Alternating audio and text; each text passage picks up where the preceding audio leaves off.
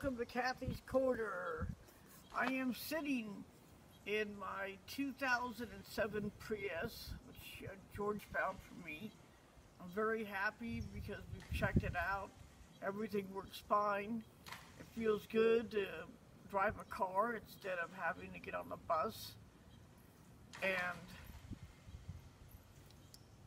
anyway, um, I, uh, you know, been able to, yeah, you know, I, you know, paid three thousand nine hundred for two years. I saved three hundred dollars a month, and I'm so glad that finally now I have a car to drive.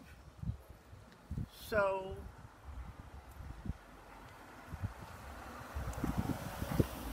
That's a, you know, um, I can't think of what else to talk about except I'm glad to have a work. I'm very happy to have a working car.